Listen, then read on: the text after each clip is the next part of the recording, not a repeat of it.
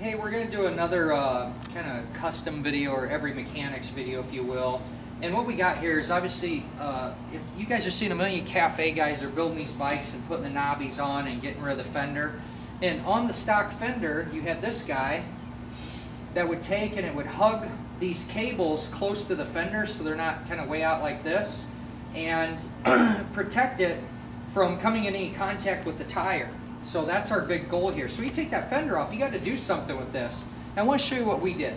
You can take a look. It's a little bit of experiment here. This is just some welding rod. Um, we just, you know, started with some aluminum. We'll probably switch it to a steel one just to make it stronger. But you can see here that this is secured now, just like it would be on a stock motorcycle. But the only thing we do different is just put maybe another little bend or something like this so that you know the wires aren't necessarily you know hanging way out in the wind like that. But they won't come in contact uh, with the bike. One thing we just did is you just took you know a welding rod like this and you could just loop it around do whatever you want come up with any sizes. It's nice to make it out of aluminum first because it's really easy to bend and you could come up with the shape that you desire. You can see here where we put a washer and didn't just take and smash this uh, the screw right through the uh, wire because what that would do is it end up just spreading it right back open on the curl that you made. So you want to take and have something you can pinch against it.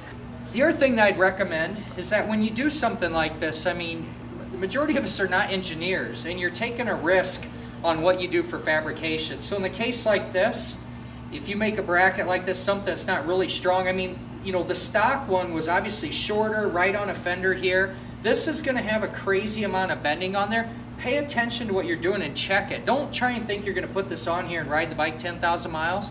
You know, ride it for, you know, a few miles and check it, see what's going on. Everything you do in this area is risky. You're taking a big risk. Your best bet is to keep a fender on it, keep a way to retain it, and then, uh, but we know that people aren't doing that. This custom world, you're seeing all kinds of this stuff. Here's the difference I want you to make. Doing something like this is protecting it. Doing nothing is a big risk that this is going to go through here and rub. This is your brake line. If that rubs through, we're going to have a really bad day. All right, keep on wrenching. If you like what you see here, would you please share it? I'd love you to keep my platform going here on uh, technical education and uh, um, the ways to be great in your craftsmanship. So keep on wrenching and we'll see you again in the future. Thanks for being a subscriber and follower of the channel.